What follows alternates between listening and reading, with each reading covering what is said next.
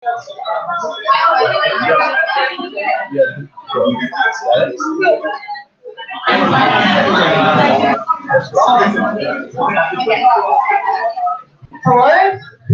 Okay, so for those of you who don't know me, I'm Sinead. Um, I've put my email here so you can email me if you have any questions, which you probably will because I'm going to go through this really fast. Um, I only have an hour and quite a bit of content. So yeah, sorry in advance for going too fast. Um, those are the references I use. Um, I'm going to go over microbiome first. I'll try and rush over that because a little bit slow learning. Um, and then I'll try and spend a little bit more time on immunology, but it's still going to be pretty fast. Um, I've put 30 practice questions at the end. We won't have time to go over them, but you can do them at home. I've put the answers in there as well. Cool. So let's get straight into it. Um, host-parasite relationship is called symbiosis. So that's just a species living in or on the body of another. And there's three categories that you would have heard of. So mutualism is when both benefit. Commensalism is when one benefits and the other's neutral. Parasitism is when one benefits at the other's expense. So with our normal human flora, they're all mutualistic or commensals, um, and they're only parasitic in situations where we become immunocompromised, and we call them in those scenarios opportunistic pathogens. So our normal human flora is mostly bacteria. We get it when we're born, and it changes throughout our life. Um, we have it pretty much everywhere, so on our skin with gram-positive bacteria, upper respiratory tract, um, GIT, there's heaps, and you've got more as you sort of go through the intestines. And then we have it in our genitourinary tract as well. The only places we don't have bacteria are in the lower respiratory tract and the upper urinary tract. So there's these three domains. They put them in the slides every year. I don't really know what the point of it is, but may as well go over it. Um, prokaryotes are your bacteria and archaea, um, if that's how you say it. Eukaryotes are eukarya. Um, just be familiar with it, I guess. So I've put a table here of the differences between prokaryotes and eukaryotes. The main ones to remember are just that prokaryotes are almost always unicellular. They don't have any nucleus or organelles. They reproduce asexually, um, and they can survive in a large variety of environments, whereas eukaryotes have a more limited range. Um, we've got organelles and nucleus. We can be multi or unicellular and produce reproduce asexually or sexually. And then bacteria mainly come in those three shapes, whereas eukaryotes can come in any shape or size. Um, so the prokaryotic cell wall has unique compounds in it, such as peptidoglycans. That's the one that changes in gram-negative and gram-positive bacteria. Um, lipopolysaccharide is in gram-negative bacteria, and that can cause toxic shock. Um, you've got mycolic acid, that's in things like Mycobacterium tuberculosis um, and makes it resistant to penicillin.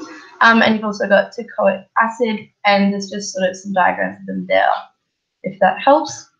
Um, gram positive versus gram negative. So gram negative bacteria is pink on a gram stain and has that thin peptidoglycan. So i.e. has less negative peptidoglycan is how I remember it. Um, it also has LPS on its outer membrane. Um, whereas gram-positive bacteria is purple on a gram stain, has a really thick layer of peptidoglycan, and that's what it makes. That's what makes it dye purple in a gram stain. Um, so external features of bacteria, you can have flagella, which is for motility, um, and they can be single, multiple, one end, both ends, or all over. Pili and Fimbriae, they look pretty similar, but they're not for motility, they're for um, cell adherence. So they help it stick onto host surfaces and also inanimate objects. Um, and a sex pilus can transfer DNA. Um, and the capsule can aid in adherence of bacteria, and it can also help in evading the immune system by mimicking sort of um, our own molecules or just resisting phagocytosis. And bacteria replicate via binary fission. So simple process, the genome just duplicates um, and splits apart, like easy as that. Um, just worth knowing. So bacteria is a pathogen. Um, Definition-wise, so a pathogen causes disease, whereas our normal flora doesn't normally cause disease. Um, and how severe the disease it causes um, is affected by virulence factors. So these are adhesion molecules, so whether or not we can actually physically remove the bacteria by coughing, um, antiphagocytic features, for instance, the capsule, um, and toxins, so how much damage they can actually cause to the host. And within your disease process, um, bacteria must enter the body, colonize the host, evade host defenses, multiply, and actually cause damage to the host before it counts as disease. So there's a few steps in the process. Um, I've put a slide of important bacteria here. I won't read through them all now because it's probably not that valuable for me to just say it out loud, but go through it in your own time. Um, some of the more important ones are Pseudomonas aeruginosa. So you see that in burns, but also it's a bit of a buzzword for cystic fibrosis, cystic fibrosis patients that can infect their lungs. Um, respiratory wise, you've got your strep. So strep pyogenes is strep throat and strep pneumoniae is pneumonia. Um, that one's easy as long as as well as Mycobacterium tuberculosis to remember because it's just in the name. Um, with fecal or fecal oral, um, always remember that Clostridium difficile is a common cause of diarrhea in hospitalized patients if you're on antibiotics, um, whereas otherwise it might be caused by E. coli or Salmonella or Campylobacter jejuni. Um, UTIs are commonly caused by E. coli, and then you've got your venereal ones as well. So you can go over that in your own time. Um, viruses are not actually living um, or part of the three domains. So they're acellular and they require a host cell to replicate. They contain genetic information that can interfere with normal cell function. And their structure consists of a lipid envelope, which they normally acquire from the host cell. Um, and then they have little projections called hemagglutinin and neuraminidase, and a protein caspid, which has the genetic material inside.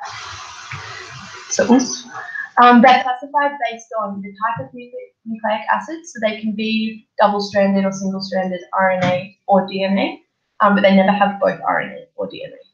Um, their morphology, so the shape of the caspid, capsid, um, whether or not they have an envelope, so influenza is enveloped, for example, um, and their host range. So it could have a narrow range, like just humans, or a really broad range, like your influenzas, which can affect humans, pigs, birds, etc. Um, and also what disease they produce. Um, so they rep viral replication, they have to attach to a host cell, and normally this is done via a receptor. Um, when they enter the cell, they'll start replicating, and they use the host cell mechanisms to sort of make more virions in genetic material. Um, and then they're released from the cell. When um, the virions are released from the cell, they can either bud out, and that's how you get your envelopes. They sort of come out and bring the envelope with it, or they can just sort of lyse the cell. So the cell sort of just breaks open and all the little virions come out, um, which seems like a destructive method but I guess if you're a virus, it doesn't matter. Um, okay, viral disease process. So there's entry, primary replication. Um, sometimes it stops here. So for things like herpes simplex, simplex virus, it'll stop at primary replication. They just stay in that area where they're infected. So if you've kissed someone with warts, it'll just stay on your lip. Um, you'll get an innate immune response and an incubation period. And then viruses that become systemic will go through a secondary replication um, for instance, HIV, and they can infect sort of all your cell types. Um, and then you'll have a host immune response, and the host is able to release and transmit the virus. And the virus can then either resolve or continue on and become a chronic infection, like you might see in hepatitis B or C. So, influenza is an orthomyxovirus with eight segments of RNA. Um, it has the hemagglutinin and neuraminidase on its Oh, I just think I said before, hemagglutinin and neuraminidase is on influenza. It's not on all viruses, but it is on influenza viruses. Um, so there's three types of influenza. Influenza A is the one that's responsible for regular outbreaks, and it's also the most important one. Influenza B does sort of sporadic outbreaks here and then, and influenza C, like, just don't even worry about it. Um, so influenza A has many different subtypes. Um, and then that's classified by different versions of H and N. So it'll be like the H1N1, H2N3, etc. Um, it's got a wide host range, and they can undergo antigenic shift and anti antigenic drift. Um, influenza B can also on, uh, can also undergo antigenic drift, but not shift. Shift is just for influenza A. So antigenic drift is when there's a single point mutation in H or N, um, more commonly H. Um, because the virus is only slightly different, people might have some effective immunity towards it. So it's just a heavier than normal flu season and it isn't too bad.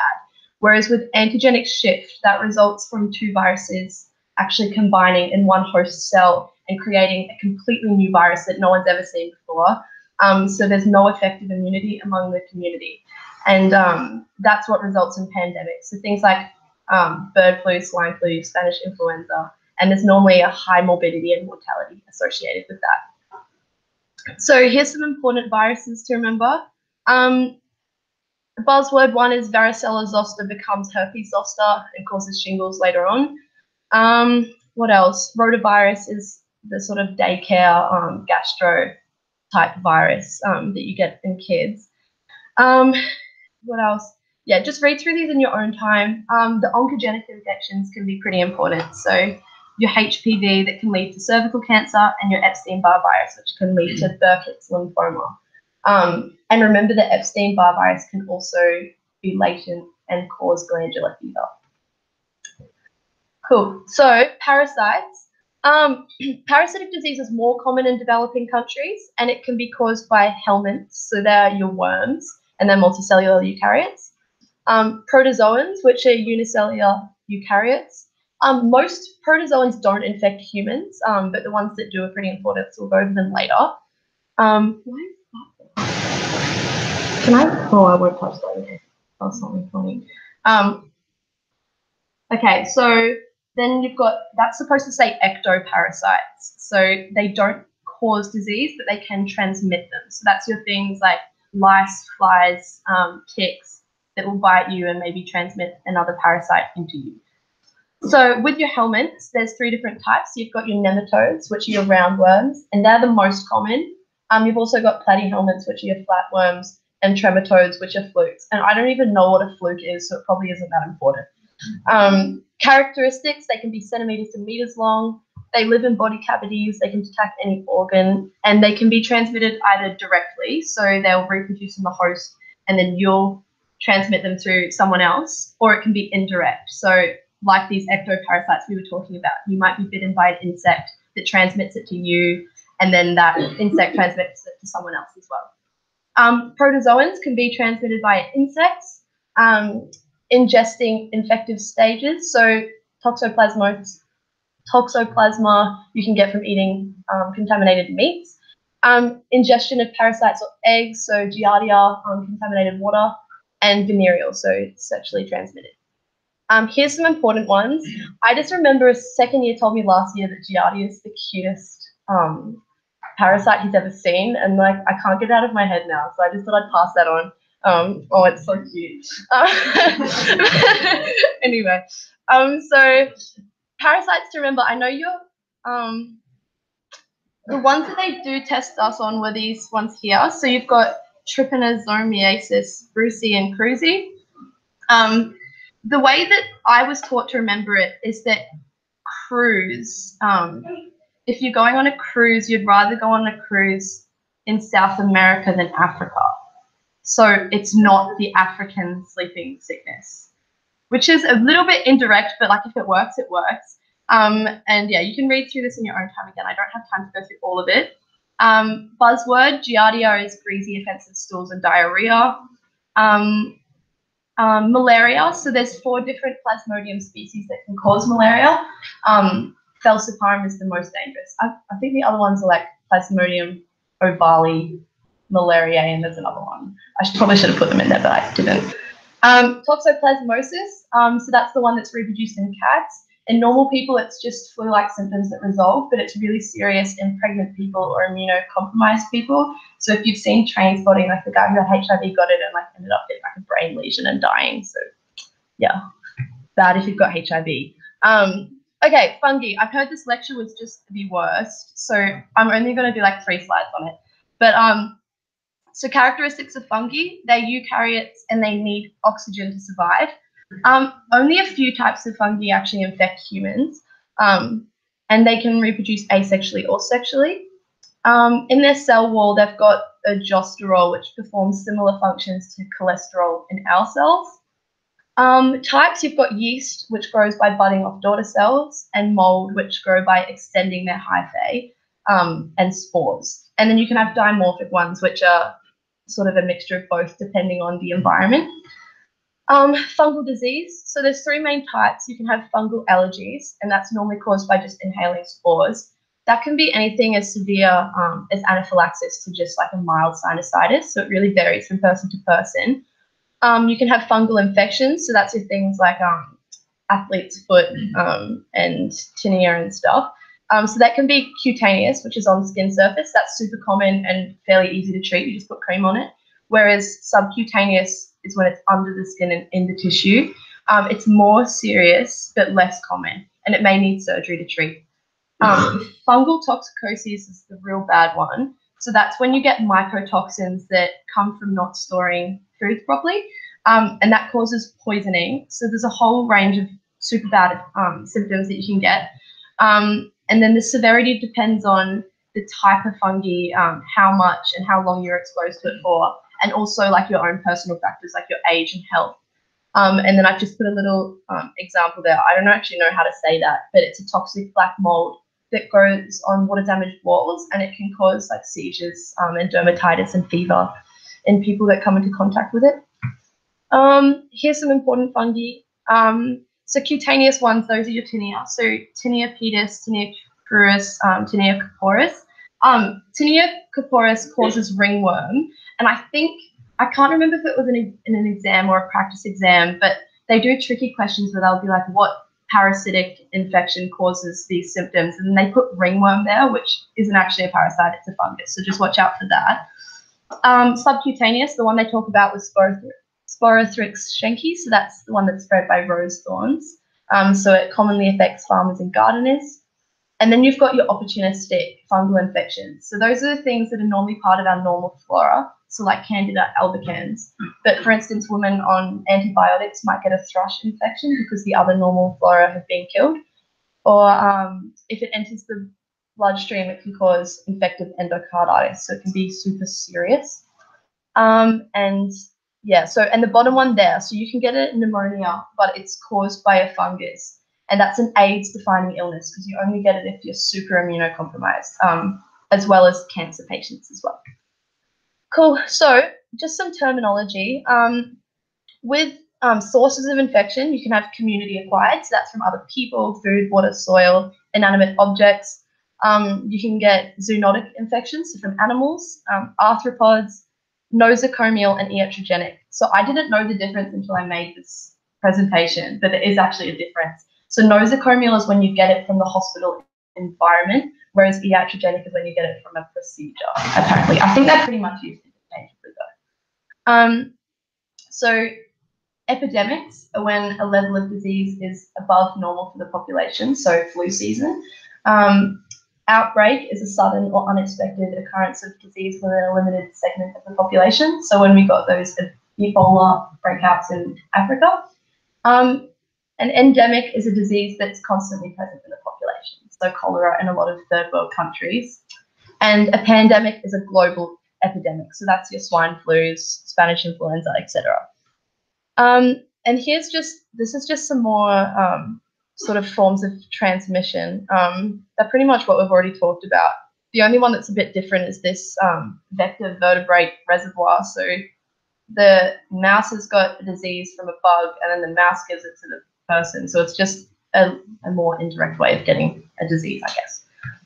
Okay, so strategies for control. So we can control growth of microbes by preventing access to the human body, um, killing them, um, reducing their numbers, or just inhibiting their growth and the factors that affect their growth are the temperature, moisture, osmotic pressure, pH, and oxygen and nutrient availability. And that's why they grow so well in things like um, dressings and soiled linen and stuff because it's all like warm and moist and has lots of nutrients. And, yeah. Um, so the way we control that in a healthcare setting is by cleaning. So cleaning happens prior to any sterilization or disinfection, and that's to get rid of like tissue and blood. Um, so that's just washing it in hot water and detergent. Disinfection is removing or killing most viable organisms, um, so boiling water or antiseptics. And sterilization is removing or killing all viable organisms. So that includes spores and other reproductive stages. So with disinfection, um, some of the rules, um, and they did ask us about this on the exam, by the way, just so you know, because it doesn't. Can I? Where's, Can I cook this or will it break something? Oh, okay. Perfect. Okay. So, um, what, where was I? Okay. So the solution must be at the correct concentration, and every part of the article that needs to be disinfected has to be in contact with the solution and for a long enough amount of time. Um, we can also use ultraviolet radiation, which kills bacteria by damaging DNA, but it can't penetrate like into things. So it's good for surfaces and like flat instruments, but not really for everything. Um, and then you've also got your chemicals. So phenolics for surfaces, iodine, so that's like surgical scrub. Chlorine we use for decontaminating blood spills, um, and chlorhexidine is for skin and hand washing. And then alcohol we use for sort of a patient's skin decontaminating before we inject or do a procedure. So sterilization methods using heat. So we've got dry heat sterilization. Um, this inactivates cell components by oxidation. Um, it melts plastic, so it's not so good for um, like catheters and stuff. Um, but you can use it for incinerating infectious waste.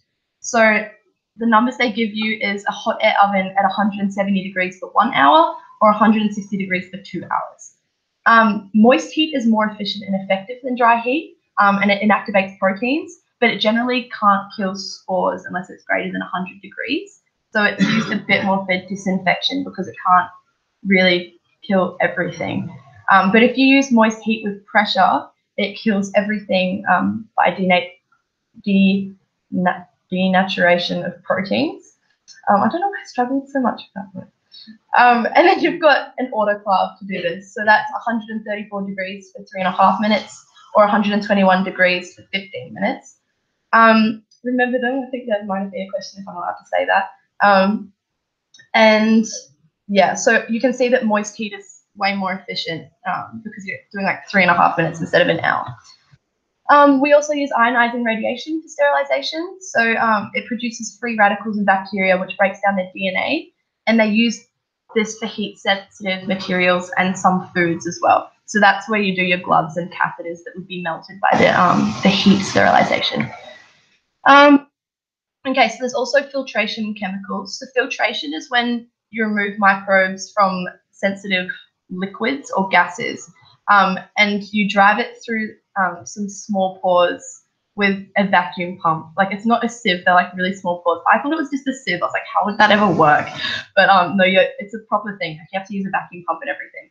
Um, and so there's chemical sterilization as well. So they use chemical gases for that, like ethylene oxide, hydrogen peroxide, chlorine dioxide, and ozone. Um, nosocomial infections are hospital acquired, um, and they occur when there is a breakdown in sterilization or disinfection procedures. Um, so Patients can self-infect themselves, so they might give themselves an infection from bacteria they had somewhere else on their body where it's supposed to be. Um, or you can cross-infect, so get it from another patient, family, or staff. Um, and there's environmental infections as well, so that's from food, air, and equipment. Um, some common infections are Staph aureus, E. coli, Pseudomonas aeruginosa, um, so that's in burn patients, and Clostridium difficile at the end, which is the one I said often results in diarrhea in hospitalized patients because they're on antibiotics. Um, and then there's just a little pie chart here of the common types of infections. So urinary tract infections are really common because of catheters. Um, and then obviously surgical wound um, would always get infected. That just makes sense. And yeah, and then the rest makes sense as well, I guess, too. Okay. Um, I'm just going to skate over this because we'll go over it more in immunology. But um, your first line defenses um, you have anatomical, mechanical, and chemical barriers. So your anatomical ones are your skin and your mucous membranes, um, and they just sort of physically keep microbes out. Um, mechanical ba- barriers are things like coughing and sneezing. Um, antimicrobial chemical ba- barriers are the lactic acid on your skin, which is actually produced by gram-positive bacteria on your skin, which is nice. Like that's mutualism at its finest. And low pH in the stomach from your gastric acid and lysozymes in your tears, sweat, and saliva can break down bacteria as well. And then your second line defenses are the ones that I'll go into later. So that's all of the sort of stuff that happens um, in the immune response. So we'll go over that later, like now. okay, so the immune system. The immune system is made up of two separate systems that sort of work together um, to do a choreographed immune response. Um, so you've got your innate immunity, which is your initial defense against antigens. Um, so this is the one that detects antigens and then goes and initi- initiates the adaptive immune system. It has no lasting memory and it's immediate onset. So that's what's happening in the first hours after infection. Um, adaptive immunity has specific immune responses to eliminate specific pathogens. Um, it also has memory, so it will remember pathogens that it sort of faced before and have a fast and vigorous response to those. Um, and the onset of response can be hours to days after the time of initial infection. So, cells of the immune system, um, you've got your myeloid cells, and those are pretty much your innate immune cells, so your neutrophils, macrophages, basophils, eosinophils, mast cells. Um, your lymphoid cells are pretty much just your adaptive immune cells, so your T cells, B cells, and innate lymphoid cells, um, but also natural killer cells. So natural killer cells are the only innate immune cell that are lymphoid, if that makes sense. And then dendritic cells can come from both. Um, so how lymphocytes develop, um, they both originate in the bone marrow, um, but the B cells will mature in the bone marrow, whereas the T cells will mature in the thymus. So you can just remember that by the letters. It's very convenient. Um, um, they both undergo a screening process to kill off defective cells. And once they're matured, they'll circulate into blood or lymph until they reach peripheral lymphoid tissue, so a lymph node, and then they can just stay there until they're called upon um, by antigen presenting cells. So this is just a bit of example of how they're selected for. So a B and T cell will be negatively selected for if it fails to.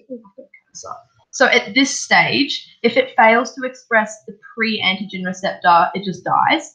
Um, and then they develop all the receptors, and if it doesn't recept, if it doesn't have the receptor, it dies again.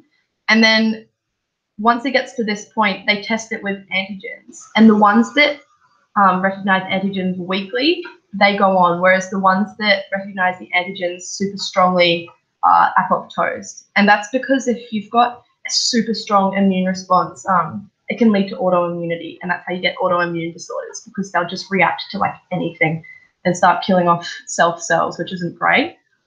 Um, specifically for T cells, so you can see here, um, if they don't recognize this MHC, they die, and if they've got a strong recognition, they die. So we're really looking for things that just weakly recognize it, if that makes sense. Um, you can look into that in a bit more detail, but that's pretty much the gist of it. Okay, so immune cells. Macrophages um, are actually called monocytes when they're circulating in the bloodstream. I didn't know that until I did this presentation, so fun fact. Um, when they've migrated into tissue, that's when they become a macrophage, and they can be fixed stationary residents in some connective tissues. So you have alveolar macrophages, for instance. Um, they just sort of wander between cells and they aggregate at signs of infection. I don't know if in the, the heme one you did how they sort of stick to the thing and they roll along. Yeah. Um, function, they signal the immune systems about, they signal the immune system about pathogens um, and they produce cytokines. So the main ones that macrophages produce are TNF, so that's tumor necrosis factor, and interleukin 1. Um, they also induce inflammation and signal local endothelial cells to increase the expression of adhesion molecules for binding of neutrophils and monocytes, and they cause vessels to become leaky, um, so to increase the gap between cells and allow fluid and other cells through. So that's sort of what I was just talking about. So when there's a site of infection, the cells become sticky. So these macrophages that are just wandering around just they don't know it's there because they don't have a conscience. They just literally stick to the vessels and can't get away, so they just do their job, if that makes sense. Okay, neutrophils are the most abundant white blood cell in the blood, and they're not normally found in tissues. They're characterized by their lobulated nuclei. So if you see this sort of thing in like a histo question, you know it's a neutrophil. Um, and production of neutrophils increases with infection, so it can actually go up to five times the normal amount.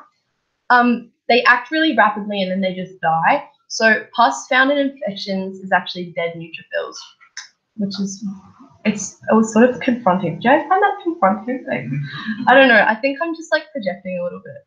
But so their function, they phagocytose pathogens upon encounter by using netosis, which is neutrophil extracellular traps which I think is super cool. They just sort of throw out this net of DNA and histones and just catch the pathogen and just kill it. So yeah, that's how they work. Um, dendritic cells are called dendritic cells because they look like the cell body of a neuron. Um, and they're your main antigen presenting cells. So their job is basically to take up a pathogen in the periphery, um, then present it on the MHC class 2 receptors, and they'll come into the lymph node, present it to your T cells, and that's what initiates the adaptive immune response. So, lymphoid organs and tissues. Um, your lymphatics obviously have a lot of um, sort of jobs within the human body, but they're the ones that relate to the immune system. Um, when they drain the tissues of lymph, they sort of detect antigens that are coming from those tissues. So when the lymph comes back through lymph nodes, it's like a surveillance center for infection. Um, and your spleen detects antigens that are in the blood. So lymph nodes do lymph, the spleen does blood, if that makes sense. Um, so an antigen on an antigen presenting cell enters the lymph node through these afferent lymphatic vessels, um, and the T and B cells enter through the arteries, through the high endothelial venules. Um, I think that's just a buzzword. Um, and then after they are activated by the antigen presenting cell, then they'll leave through an efferent lymphatic vessel and go off and do their, their immune business. Um, so the journey of a T cell, I didn't know what to call this slide. It's a bit dramatic, but that's okay. Um, so it starts off as either a memory T cell, so left behind from a previous infection, or just a naive T cell. They head into the lymph node. They get activated by an AP an antigen presenting cell, and then they go into the blood vessels to peripheral blood vessels to the site of infection. Cool. So this is the stuff that I said I would talk about later, and I've come to talk about it now. Um, so complement. So I think you didn't go into this in that much detail. I put the mechanism here if you want to learn it. I didn't learn it. I know some people probably did, but I didn't. Um, just the main sort of takeaway messages about complement. It's always present in the serum and it's just a cascade of molecules that sort of bind and cleave into smaller subfragments.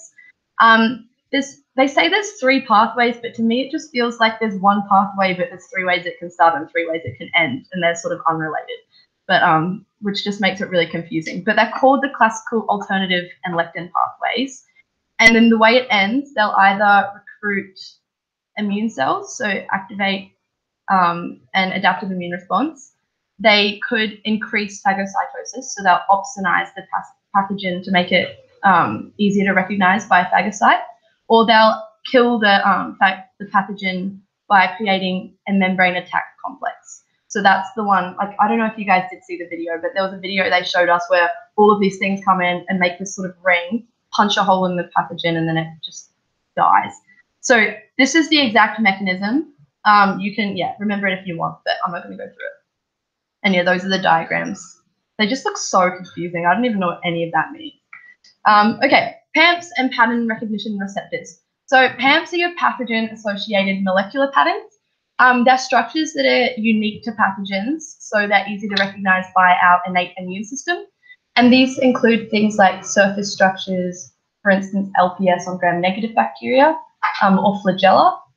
Um, also things like double-stranded RNA, um, sugar residues, unmethylated CPG nucleotides because ours are methylated. So I'm just going to check the time. Oh, I'm going really fast. If I'm going too fast, like just make a panicked face at me.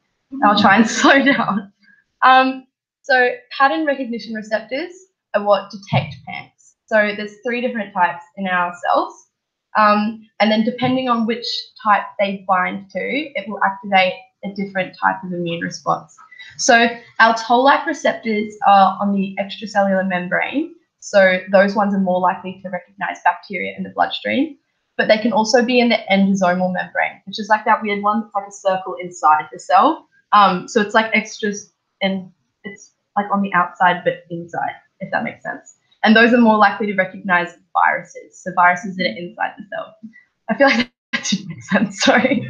um, um, intracellular receptors, you've got your nod-like receptors, so they detect bacterial cell walls, and RIG-like receptors, which detect viral DNA and RNA. Um, so how this signal sort of happens, I'll just run through it. So this is toll-like receptor 4. I didn't actually remember the different types of toll-like receptors, but I think we were suggested to. So you can do that if you like. Um, it detects the bacterial LPS and it gets triggered when it binds. Um, it then recruits these adapter proteins, and those proteins will go go on to sort of um, start transcription of cytokines and other signaling molecules. And then, depending on what cytokines are produced, that can cause three different pathways. So, a cytokine can be produced that will cause acute inflammation, or it might try and signal for switching on adaptive immunity, or if it has um, sort of sensed the virus, it'll switch on an antiviral state. So those are three different immune responses, and that's um that's these things here. So it depends on what cytokines are expressed. Cool. So inflammation. The aim of inflammation is to eliminate a pathogenic insult, um, remove all sort of injured tissue and components, and just get everything back to normal. Um, you've got your five cardinal signs, which are heat, redness, pain, swelling, and loss of function. I put in the um, Latin ones too. I'm pretty sure in an exam they'll just use the sort of English versions, but apparently some consultants like to use the Latin names, and they'll be like, "What are the five Latin signs of inflammation?" So I just thought for your, for your information, I'd include it. Um, so a pathogen is introduced to the skin, um, and then you can see these histamines or other cytokines are produced by the injured tissue, and that starts to attract your macrophages. And also, it signals to the endothelial lining of the blood vessels, um, and they become leaky. So that's when your um, sort of phagocytic cells are coming through, um, and then they'll eat up everything. And then you've also got your clotting agents, which Wendy would have talked about before. So yeah, that's how it works. Um, okay, so activation of the inflammasome. I didn't understand this until I was doing this presentation. Like, I just thought it looked so complicated, but it's actually not as complicated as it looks. I mean, you probably all know that. Like, I was a bit slow last year, but anyway. So, basically, the whole point of the inflammasome is it's two separate pathways um, that just activate at the end one signaling molecule. And the reason we have two pathways is so that it's not activated accidentally or unnecessarily and it doesn't cause sort of unnecessary inflammation.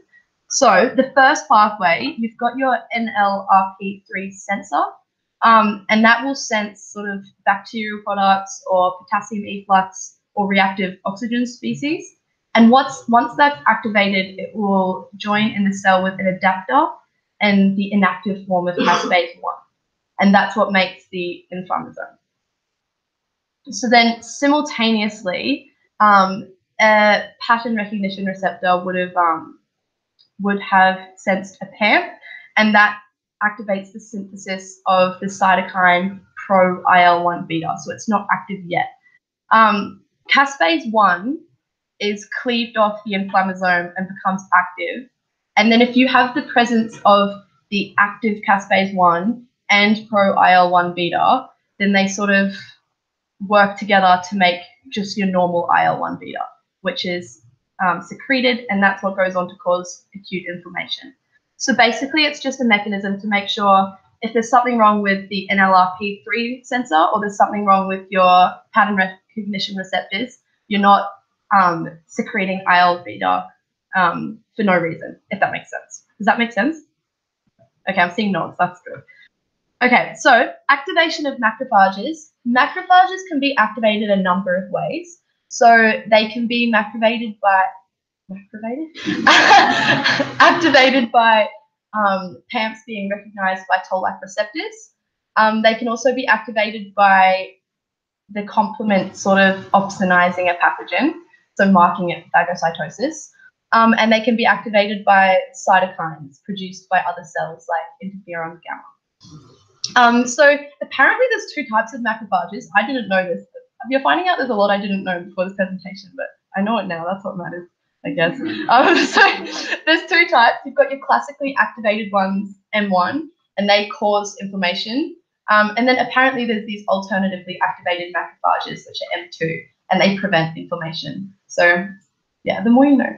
Um, cool. So natural killer cells. these are, like I said before, they're the only innate immune cell that's a lymphocyte. Um, and they recognize infected and stressed cells, and then they either kill those cells or they'll um, secrete interferon gamma, which is the one I said before, activates macrophages.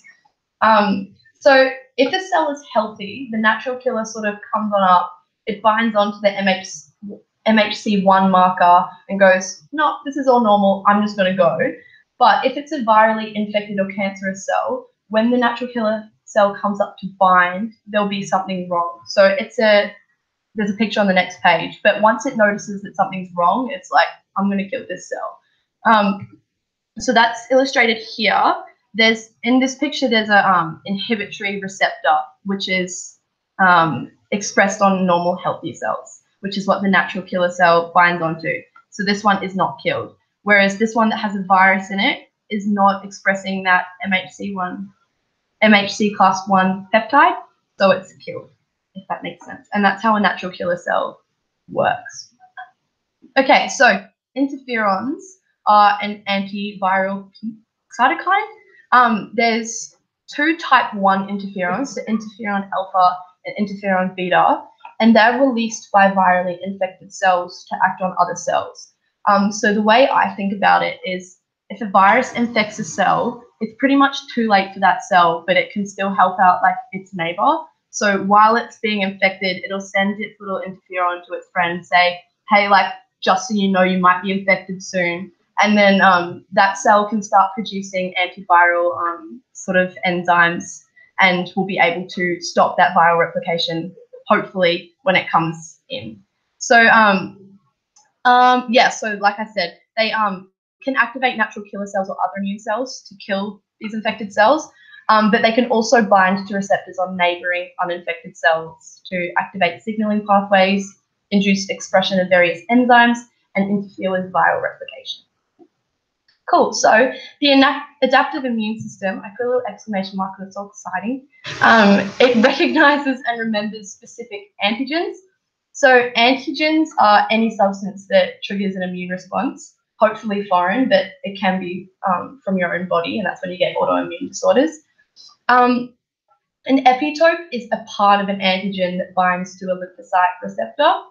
Um, an antigen presenting cell is a cell that engulfs, engulfs pathogens and then displays them with MHC2 markers to activate lymphocytes. And um, an antibody, which is not to be confused with an antigen, is a protein produced by B cells, and it's just the secreted form of the B cell receptor. Um, and that so that's part of the immune response or humoral immunity. So the way we detect um, self versus non-self cells, so on both B and T cells, there's antigen-specific receptors. So a B cell receptor is just an antibody that hasn't been secreted. Um, it can recognize the entire antigen um, and epitopes, so it can do both. Um, and it can also be secreted and float around by itself. Um, T cell receptors only recognize epitopes on MHC markers and they can't be secreted. Um, so the MHC that I've been talking about, that's your major histocompatibility complexes. So MHC class 1, all cells have them. So if any cell is infected by cancer or a virus, it can present um, on its MHC class 1 receptor that it's not doing so well and attract it phagocyte. Um, and then they activate CD8 so T cytotoxic cells. Um, and then a memory tool for that one, I didn't use this, but it's actually pretty cool. Like 8 times 1 equals 8. So CD8 cells are class 1, whereas MHC, it's like 4 times 2 equals 8. So you can remember it that way if you like. Um, so MHC class 2, they're only present, present on antigen-presenting cells. So they present antigens from bacteria, and they're the ones that activate CD4, so T helper memory cells. Um, so pathways of the adaptive immune response. So your humoral response relates to your B cells and your antibodies. So that's this one here. Um, so you've got your extracellular microbes and your B lymphocyte, um, and then it can secrete an antibody which um, can block infections um, and eliminate extracellular microbes. Um, cell-mediated response, so that refers to T cells. Um, there's two different types, the T helper cells and T cytotoxic cells. So T helper cells, they don't actually kill the cells themselves, but they help phagocytes to kill the cell. Um, whereas T cytotoxic cells use perforin to kill infected cells. So this is just sort of um, a nice sort of visual of how the adaptive immune response happens. So from the time that the antigen is presented, these lymphocytes will mature, expand, and then differentiate into sort of more specific lymphocytes. Um, and then they can start eliminating antigens um, either by cell-mediated immunity, so the T cells, or humoral immunity, so your B cells. Um, and then at the end of an immune response, most of your all the B and T cells that you've sort of created die off, but you get your surviving memory cells which hang around to tell the tale. Um, and if it ever happens again, they know what to do. Cool. So um, phases of the humoral response. So like I was just saying, so you get presented with a microbe, um, which activates your B cell. Although I think your B cells are activated more from helper T cells and other stimuli. Then they expand and clone themselves and they can differentiate. So when they differentiate, there's a few different things that can happen. They either become plasma cells, so their sole job is just like keep pumping out antibodies. Um, they can become memory B cells, so they'll remember it for next time.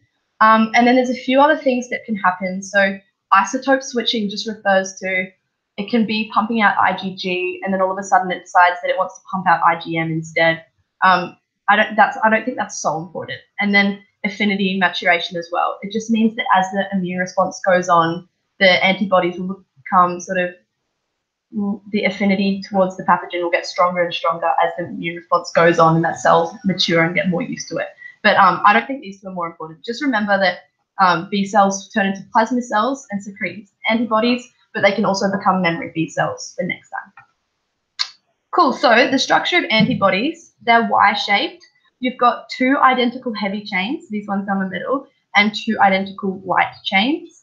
Um, there's identical antigen binding sites on both arms, and each chain has a constant region, variable region, and a complementarity determining region. Um, basically, it just means that there's lots of regions that can be altered so that they can be highly specific for different pathogens. Um, and then there's five different types of antibodies. So I put them in a table here. Um, IgA is a mucosal immunity, and that's a monomer or a dimer. Um, IgD isn't secreted as an antibody, so that stays on a naive B cell. Um, IgE is the one that plays a part in mast cell activation. So you see that in allergic responses. Um, but it's also for defense against helminths and other parasites. Um, IgG is the one that has a really high affinity, so it binds super strongly to um, pathogens, so it's good for toxin neutralization. Um, and it's also involved in neonatal immunity, so that's the one that can cross over the placenta. And then IgM is the pentamer, so that's the one with all the arms. It looks real cool. Um, that's an opsonization, so that will mark pathogens for phagocytosis. Um, and it's also the initial response to injury, so it's sort of the first one on the scene. So if you're taking like um, like a full blood count and you their IgM is really high, but their other things aren't really high, it probably means they've just got an infection. Nothing else has happened yet. Um, okay, so functions of antibodies. There's basically three main functions. Um, so they can either neutralize pathogens, so they'll just sort of like bind on so that these pathogens can't go onto receptors and do anything. Um, so they're just useless. Um, they can opsonize, so they'll coat the pathogen and make it more recognizable to a macrophage, or they can activate the complement. So it's similar to opsonization, except instead of activating a macrophage, it'll activate a complement protein, and then that complement will either go on to do to kill the pathogen instantly using its membrane attack complex, or it could further opsonize the pathogen and then it just gets eaten by a macrophage anyway. Cool. So I, I feel like I'm going real fast. Oh, we've got 10 minutes left. Okay. So with immunity, um, acquired immunity, you can acquire it naturally or artificially, and it can be active or passive. So natural active is like getting an infection. So you have a chance contact with a pathogen and then your body responds. You have those memory cells. Um, whereas artificial active is like a vaccine. So it's a purposeful contact um, and then you get those memory cells. Um, passive natural is for instance, your mum giving you IgG through the placenta or IgA from breast milk. So you don't actually have any memory, you don't have to have an immune response, it's just there. Um, and then artificial passive things like antitoxins, so they're injected straight into the blood, and um, and yes, you have those IGs there if you need them, um, which you normally do if you're getting injected with an antitoxin.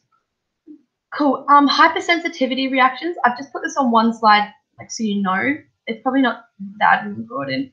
I mean, it might be. I guess I'm not the authority, but um, so you've got type one to type four. Type 1 are your things like an allergic response. So that's your mast cells and your histamines causing inflammation.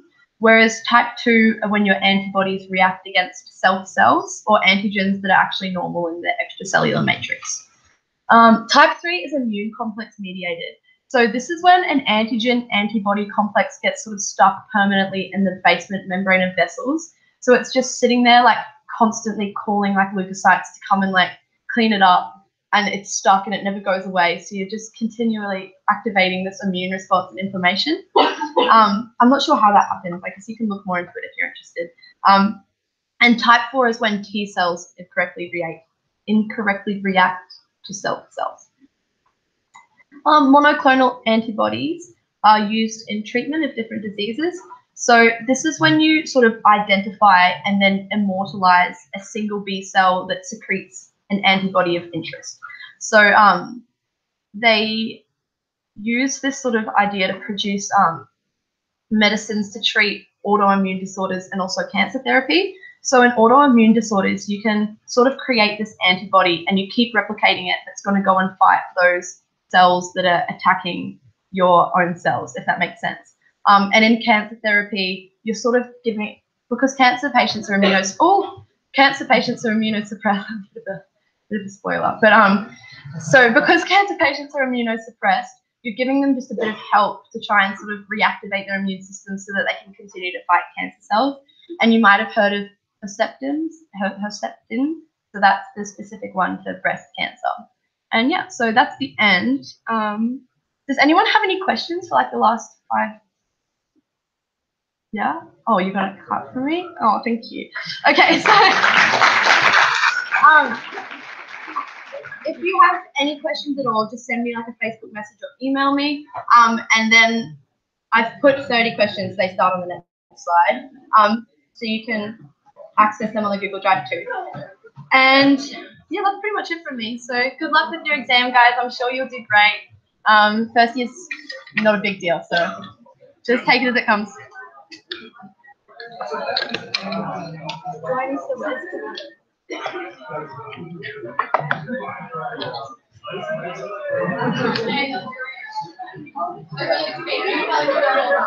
I timed it yesterday and it took long. I'm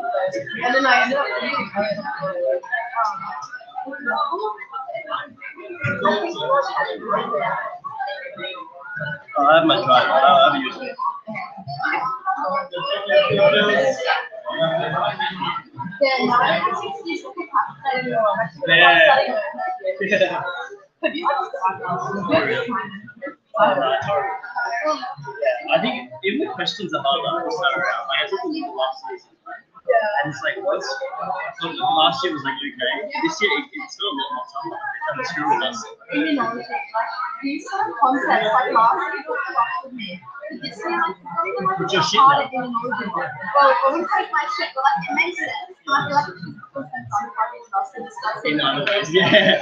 So anyway, good luck. Have fun. So it's just it's not nice. Probably good.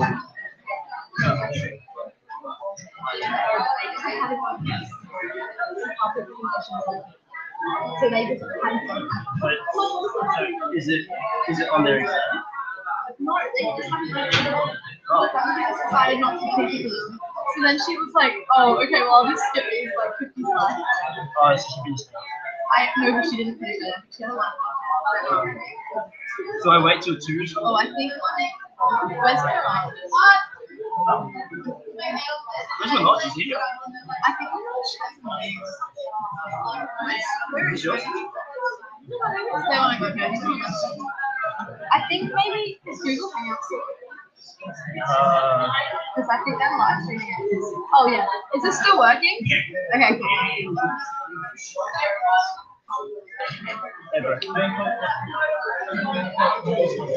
Are you doing Apparently.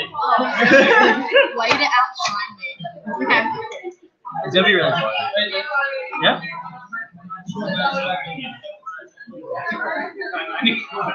Ask me how many one of these, how many goes, I think it's everything. Koalas? I'm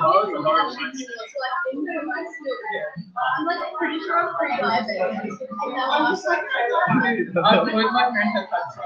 I'm a last student, I'm not even. Oh, you leave, you leave glasses? Yes, I thought you would see. how was it? Well, I got my, oh, like my screen yeah.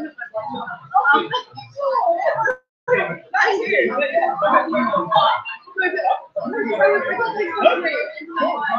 Is it? You'll play a role?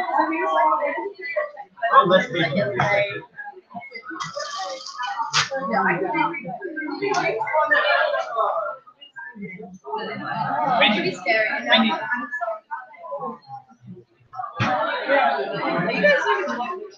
Yeah, he, he's. I'm gonna watch this other challenge. Thank you. Have a lovely day. Good luck with your exam. When do I start? How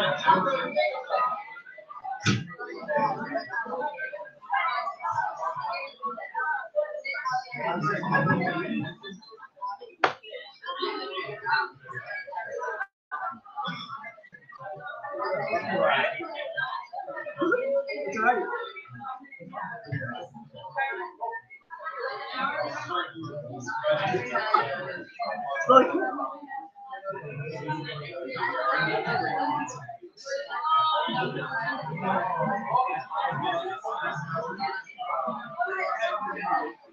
always.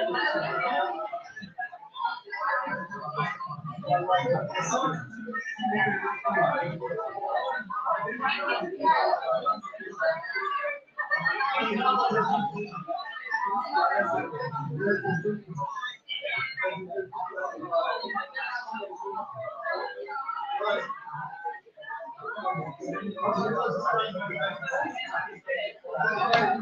you.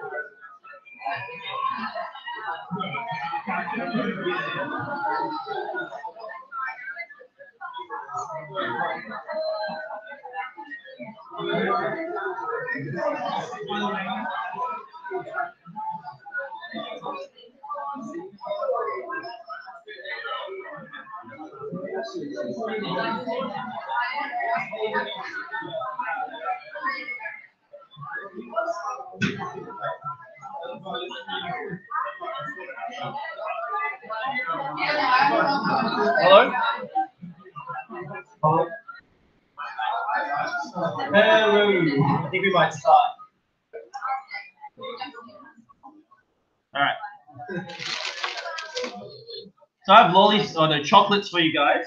Yeah. For those who answer questions, right. Give you a bit of a sugar rush. It's the end of the day. Pharmacology. Okay. So this is how the lecture is going to generally run. All right. Can I get you a bit some quiet, right.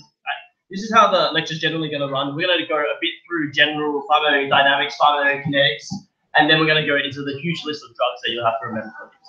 Okay? So, questions come up. I'm going to piff this ball at you. You're going to catch it. Hey, you answer right, you get some chocolate. That's how we're to play this. Okay? Because it's pharmacology, there are a lot of drugs, right? I do expect some of you to get bored, so I literally put the questions randomly throughout the whole thing. I don't even know where they are. I'll be surprised when I come across them as well. Okay? So, let's start. Pharmacology, right? We've got three different phases. Pharmaceutical phase, which uh, is in regards to the route of administration. Pharmacokinetic phase, right? What the body does to the drug. Pharmacodynamic phase, what the drug does to the body. Okay, so we're going to start with pharmacokinetics. Okay, so you've probably seen this a hundred times. ADME, absorption, distribution, metabolism, and excretion. I'm going to go through each. Haven't come across this before? At all?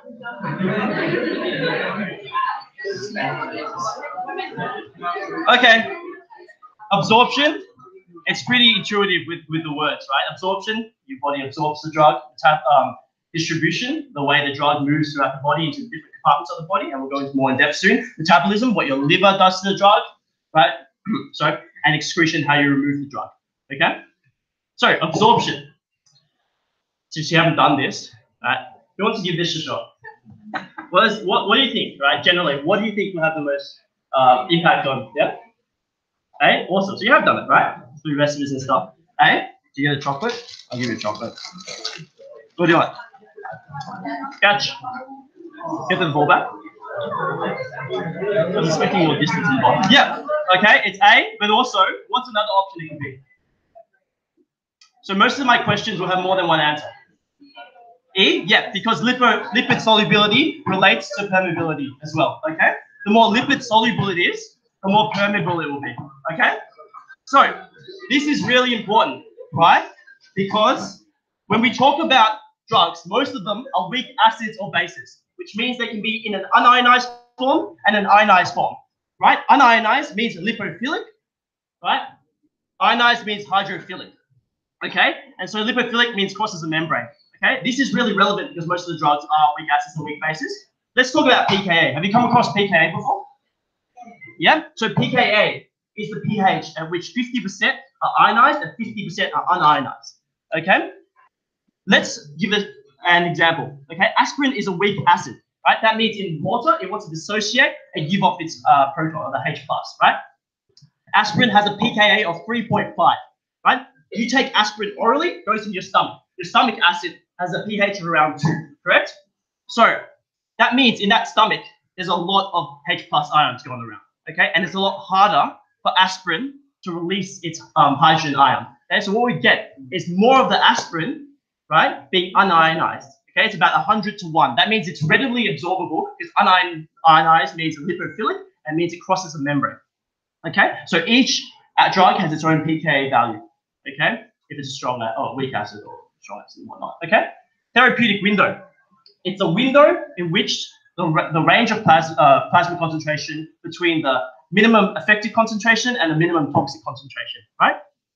The therapeutic index is the amount of drug needed to produce an adverse response over the amount of drug needed to produce a desired response. So let's say the amount of drug needed to produce an adverse response was super, super high, right? That means that that fraction is going to, like, overall, it's going to be a bigger value. The therapeutic index will be higher. it means you have more room to work with because you can go ham on the concentration and it doesn't affect the patient adversely, right? Because it's quite a high concentration required to have an adverse effect. So the higher, the better, the safer, right? Bioavailability, okay, is a fraction of drug that will reach the systemic circulation. Of course, this is largely dependent on the route of administration. If you give it intravenously, right, it goes 100%, it goes all the way. Orally, it takes a bit longer, okay, but it lasts a bit longer as well? Because we're talking about how the concentration of the drug in the plasma affects its excretion rate. So with intravenous, right, it's 100% to begin with. So the excretion rate is super, super fast to begin with, okay? It's proportional. Distribution, how the drug moves throughout the compartments of the body. Okay, so the compartments like this: blood, plasma, extracellular fluid, fat, and intracellular fluid, and other, which is all the other juicy stuff like uh, the CSF and all that stuff. So drugs bind to plasma proteins. Okay, so let's say a lipophilic drug, goes into your plasma, doesn't do too well for itself. Okay, it needs to bind to a protein to travel around. And that protein tends to be albumin for a lot of drugs. Okay, drugs bound to um, plasma proteins are inactive and unable to be secreted. Okay, this is an equilibrium reaction. Yeah? So different drugs bind to different uh, levels of, uh, bind to different amounts of plasma protein.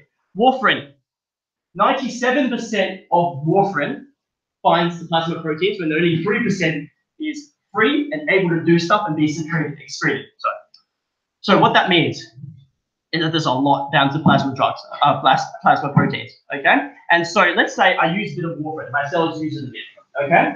That means, right, it goes maybe down to 2%, right? What this reaction does, because it's an equilibrium reaction, is that drug from the plasma proteins will unbind and come free again. So it's an equilibrium reaction. What this means is that drugs which bind more to plasma proteins have a longer half-life. Why? Because there's a huge reservoir of drugs, right, which can be released and become free drugs. Cool? This is an opportunity for interaction. Why? Because drugs, multiple drugs can bind to the same type of plasma protein. Okay? They can displace other drugs, and this results in a higher level of free drugs, active drugs, right? Which can exceed the minimum toxic concentration. Does that make sense? Cool. Other factors that affect distribution. Okay, so how easy the, it is to pass the membrane, blood flow to the area. Essentially, let's just look at this picture. So let's say I inject uh, morphine into the, the plasma. Okay? What happens there in the plasma is it will bind to plasma proteins. Okay? The proportion of it will be free. Okay? Then that free proportion can move to the extracellular fluid. Now this is equilibrium um, kind of not reaction, but movement, right? It goes both ways. Yeah? So a portion of that free uh, drug will go into the extracellular fluid where it will bind to proteins um, in the you know, collagen and whatnot and all this other stuff. And it gets stuck there, some of it's free, and that free proportion will go into the intracellular fluid, and some of it will get stuck there, some of it won't, and same deal with the other. So you can see that it kind of disperses, and depending on what drug it is and what kind of affinity it has for certain proteins, it will disperse differently. Okay? So this brings us to the volume of distribution. Have you heard of this before? Okay, so just like each individual drug gets its own pKa, each individual drug gets its own volume of distribution. Okay, it gives us the ratio of which the overall drug in the body corresponds over the sorry over the overall concentration of drug in the plasma. Okay, so it tells us the dose, the ratio of the overall dose you have to give, right, and the proportion of that drug, right, in the plasma. Okay, so let's say or the total amount of drug in the body um, is like I don't know, uh, 15 milligrams. Okay. Whatever I do with a, a, volume of distribution calculation, it will give me, let's say, five milligrams in the plasma. Okay, according to this particular drug's volume of distribution. So let's have a example. Okay, volume of distribution of morphine is five liters per kilogram body weight. Okay, that's a value for morphine. You don't need to memorize this, right? Let's say I have a patient He's suffering a lot of pain from abdominal pain. He's a 70 kilogram male. Okay, I want 3 over 70 milligrams uh, per liter of morphine in his plasma to have the therapeutic outcome I want, which is drug uh, pain relief. Sorry.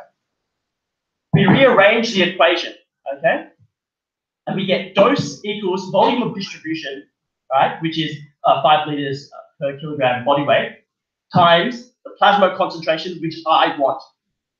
Okay? We do that and we times it, which is 3 over 70, right? And I get the dose equals 15 over 70 milligrams per kilogram body weight. And this male is 70 kilograms, so I times it by 70. Yep, and that's a 15 milligram dose that I give to him, right? And that will give me, yeah, 3 over 70 milligrams per liter of, of um, drug concentration in his plasma. Does that make sense? So the volume of distribution is the ratio, right, of all the drug and to the drug that will actually end up in the plasma. Cool? Awesome? Yeah? No? Yeah, sure. So just like, okay, so, oh, sorry. We go. So here, we see that drugs distribute depending on the affinity for plasma proteins and other proteins that bind, right? So when I give this person a drug, eventually a certain proportion will be in each um, compartment, correct? Okay? The volume of distribution is that value that gives us the ratio of the overall drug all in the body, right, to the amount of drug in the plasma. Okay? And plasma is usually how we measure drugs. Sometimes we can't measure everything else. Okay? And so this is just the equation we use, and we just do simple math. We fill in the blanks, right? We rearrange and get a value, which is the overall drug in the body, which just equals the dose that you're going to give them. Make sense? Cool? Awesome. So, metabolism. You've probably heard of these enzymes before. CYP450 enzymes. So a group of enzymes in the liver and most of the work in terms of metabolism. What your body does to the drug, right? Pharmacokinetic. It changes the drug. Okay? So we have subgroups like CYP1A2, which metabolizes caffeine, CYP2E1, which is your alcohol, right? Or ethanol. Okay? And you can see here that there's a common point of drug interaction. Why? Because multiple drugs could use the same subgroup of enzymes and saturate them, right? And cause them. What's up? Pardon? Okay. cool. Uh, It's real quick. I'll just go through it because it makes sense in the nutrition part. Okay? Okay, that's interesting. It's just a group of enzymes. You don't, you don't need to remember the specific ones. It's just the ones in the liver. You'll see this phrase again and again and again as we go through all the drugs because a lot of them use these uh, enzymes. Okay? So, what can the liver do to change the drug? Okay? It can add a OH group. It can remove parts of the drug. Okay? And it can add a hydrophilic group to the drug. Okay? So, why would we want to add a hydrophilic group to the drug? Yeah, but specifically what kind of lipid bilayer? Yeah, I don't think you've done this yet. So it's talking about the peer out. Very good. Okay, so you haven't done renal yet. But essentially, I want you to think of this tube. Okay, oh, do want chocolate? Yeah. Have a, have a chocolate. No? No? Okay, you can have it now. Alright, so we have this tube, right? And this tube contains, you know, here contains all the stuff we want to get out of it. Okay? On either side of this tube, right, the walls are made of cells, correct? Yeah? The walls are made of cells, and if you have a lipophilic drug, what, what it can do is when it's being excreted, it just jumps back into the body through the walls of the, this tube. And everything on the other side gets pissed out. Okay, so it's really hard for kidneys to get rid of hydrophobic molecules, so they just get what we call reabsorbed. Okay, and so when we add a hydrophilic group to the drug, we easily secrete it. Okay, awesome. So let's take aspirin, for example, um, in that picture below us. Okay, and this new slides, they're on your drive, right? Aspirin gets converted, right? And it gets um, undergoes hydrolysis, removes the part, becomes salicylic acid, which is the active form. Okay, so when you take that aspirin, right, nothing's going on. It's an inactive aspirin, right? And it gets activated by our liver enzymes. This is a particular type of drug. It's called a pro drug, and we'll come across heaps of right? Called a pro drug. It means it's inactive, and then your liver activates it, activates it, and it works. After that, you can see that you add a, a group with it with a bunch of OH. You make it lipophobic um, or hydrophilic, meaning it can be excreted renally very easily. Make sense? Comfortable? Pro drug, right? Cool. First pass clearance, okay? Because your liver does a lot of the metabolism, right? What happens is that when you take that aspirin, and it goes into your gut and gets absorbed, what happens is that basically all the blood, there's this group, this system of uh, vessels, right, or the portal system, and that takes all the nutrients, all the blood from the gut right to the liver before it hits the systemic circulation. You'll learn about that um, next year. Okay, essentially, anything you eat has to go through the liver because of this blood portal system, this venous portal system. Okay, and so the first pass clearance is the amount of drug which is removed by the liver on its passage through the liver, of, uh, through the first it's that on its first passage through the liver, then to the systemic circulation. Cool. Awesome. Excretion. Okay, so your kidneys and your liver do most of it. Okay, how does your liver do it? Well, it secretes what we call bile. Right? Bile is what we use to break down fats when we eat it, and it goes straight to our gut from our liver.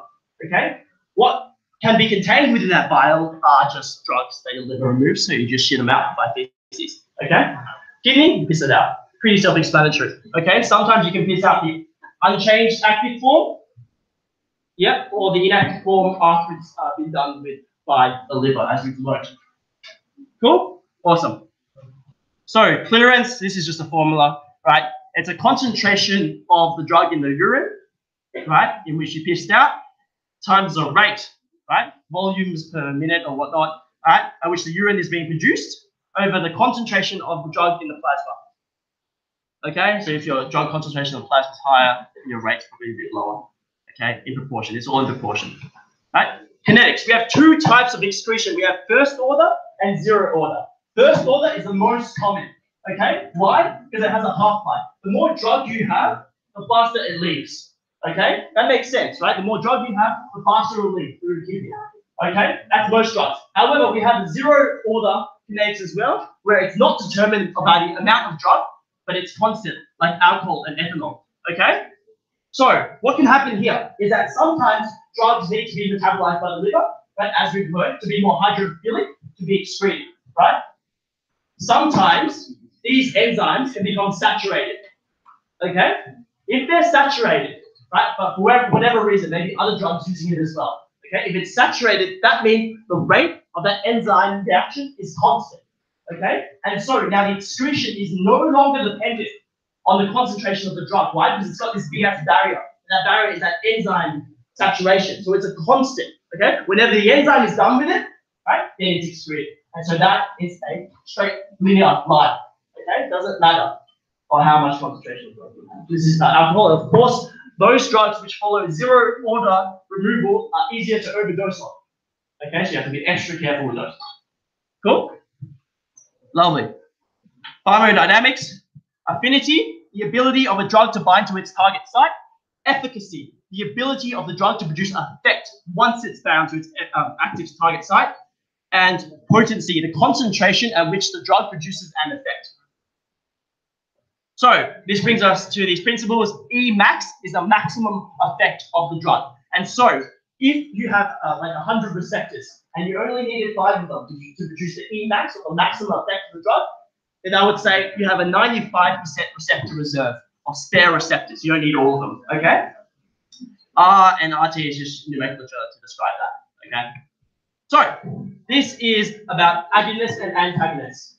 Who feels up to labeling A, B, C, and D? Yeah? You haven't done it? So have you done agonists and that? So you haven't talked about agonists and antagonists? Yeah, so this is basically it. This is, not, this is like, cool? I'm gonna, I'm gonna chuck it randomly. Yeah? Sorry about that. Yeah, go ahead. Everyone, shh. Yeah, good. Yeah, awesome. Yeah, you've seen this picture before. Yeah. Oh, really? Inverse agonist, right? Can you tell me what an inverse agonist does, and I'll give you a chocolate? Uh, do you really know?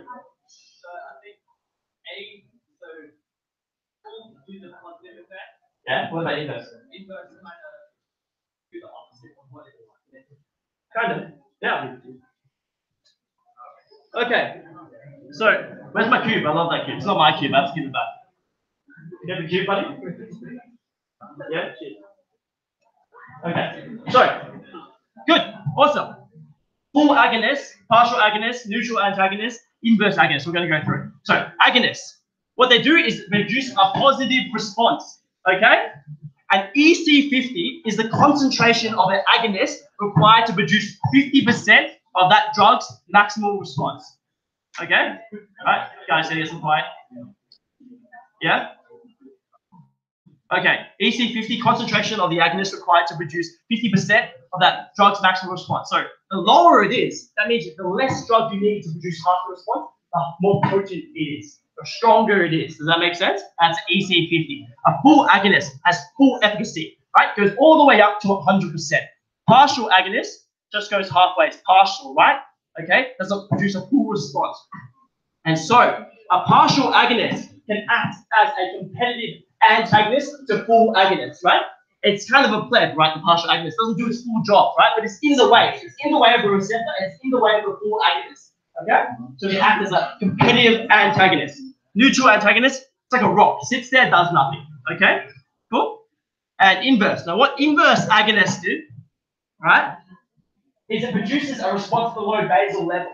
Okay? It down regulates the receptor activity and makes it even harder yeah, for something to make that cause that response and bring it back up to its full agonist. Okay, cool, awesome. Okay, who wants to do this one? Chocolates. Another jelly. I'm just chuck it randomly. Right? I'm back there. uh, person with the, the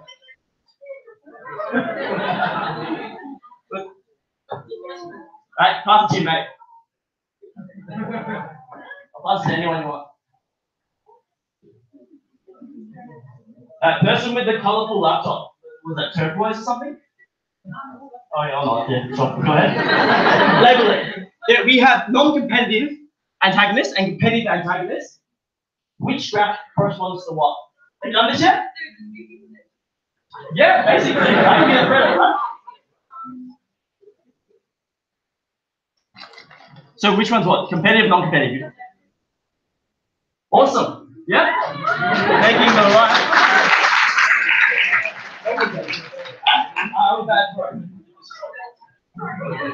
All right, good. So, good. Non-competitive, do they tend to be reversible or irreversible? Irreversible, good. All right?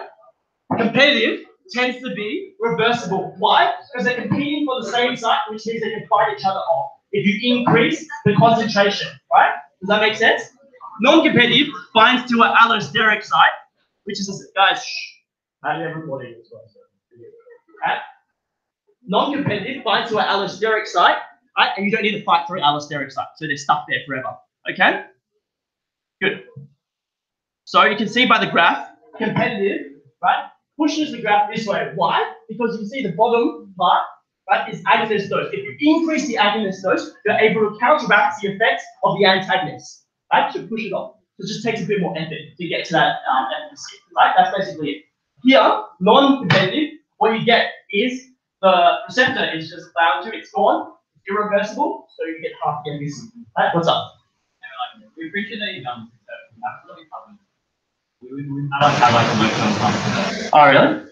Yeah. A lot of the stuff we haven't really done. And Okay, so have you done the antibiotics and stuff? yeah. But you didn't do pharmacodynamics, pharmaco, and how it all works.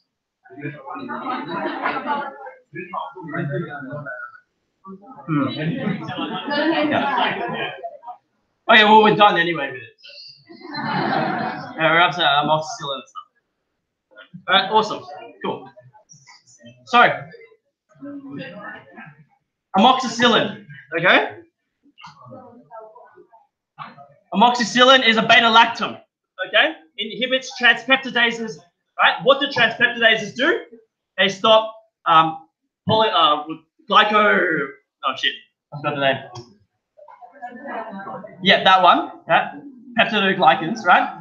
From being formed and it inhibits them irreversibly, right? This is our first line drug for most of the time. It works better with gram-positive bacteria.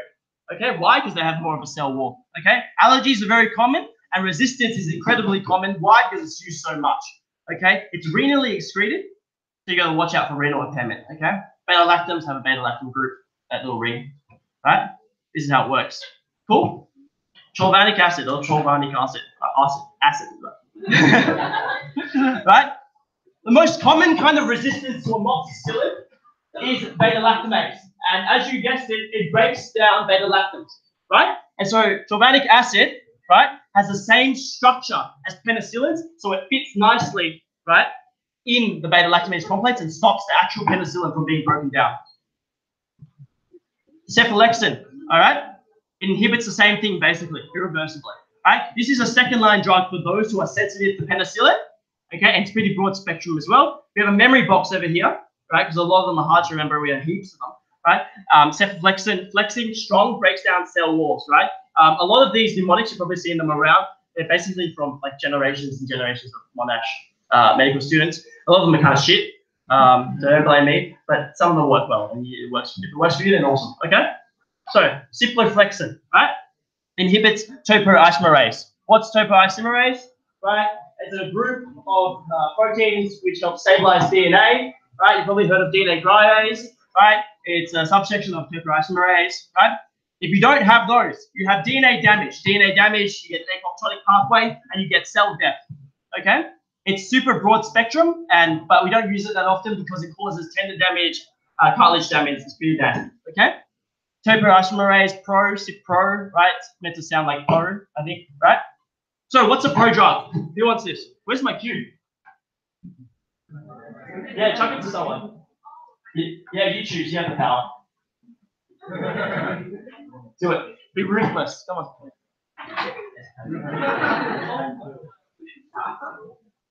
Yeah, you're the in, you're the pro drug. Yeah. What's a pro drug? Me this.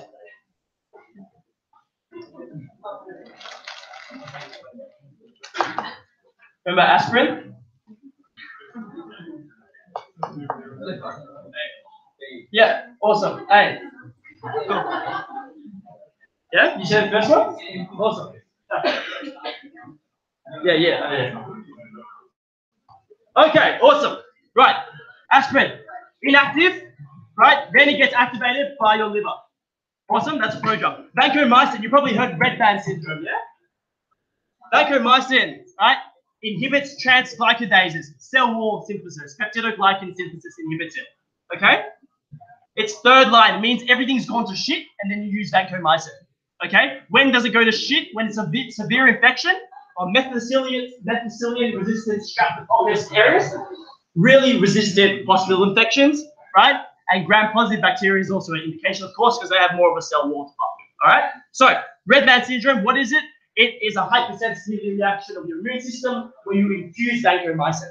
The memory box here is, I want you to imagine a ambulance. It's red, it has a cross on it, right? The ambulance is red, red man syndrome.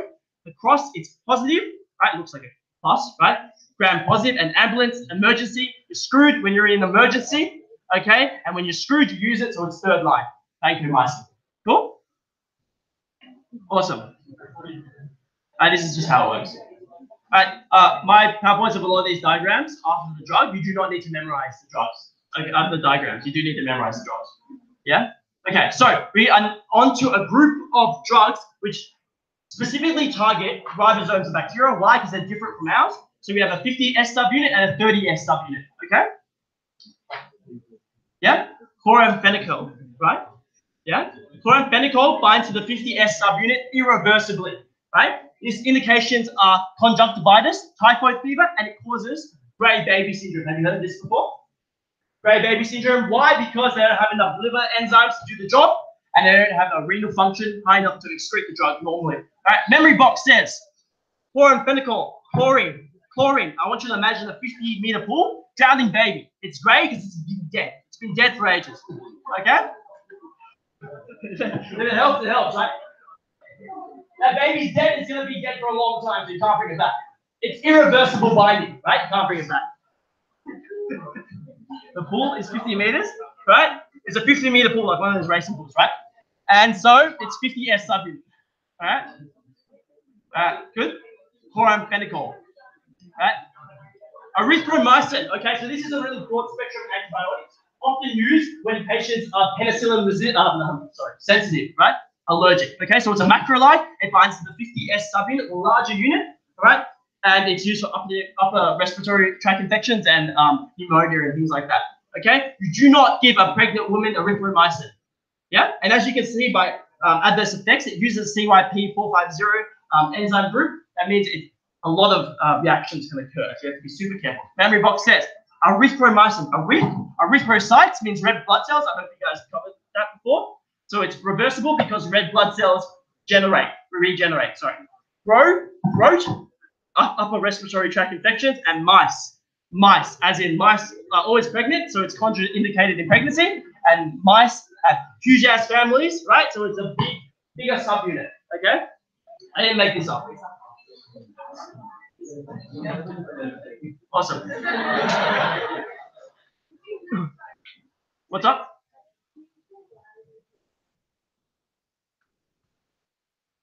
It's just broad spectrum as well, right?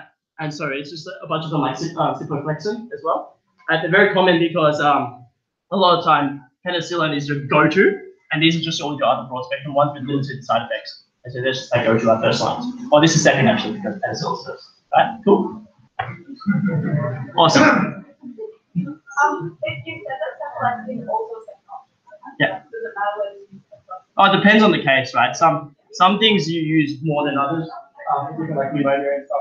Uh, tend to towards erythromycin. Uh, it depends on the case, right?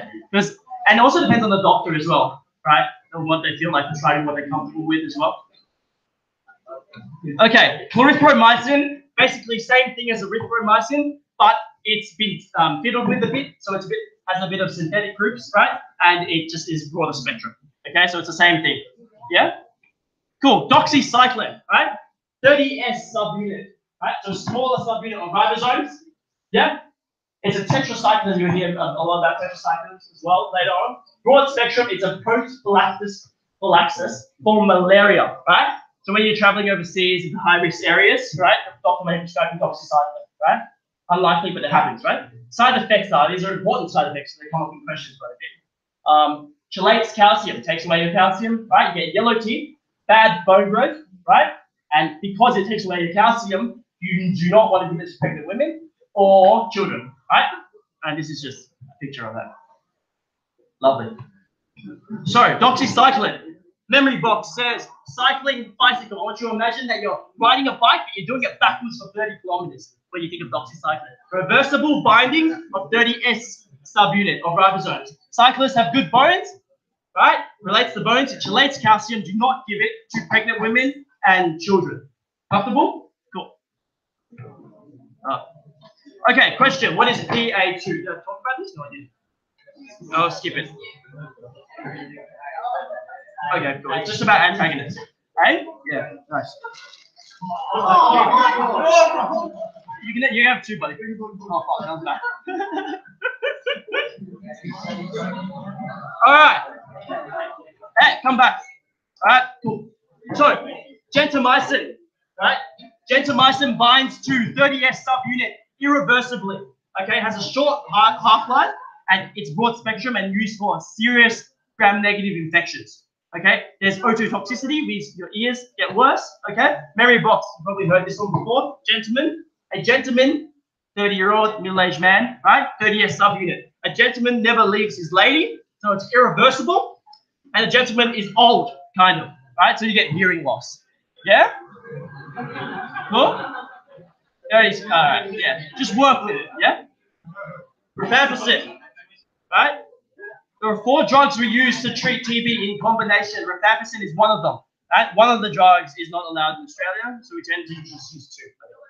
So, rifampicin binds the RNA polymerase to inhibit it. R starts both start with R, so it's RNA polymerase inhibitor, right? Rifampicin, FAM, family trip to the tropics to get a TB infection to the tropics, right?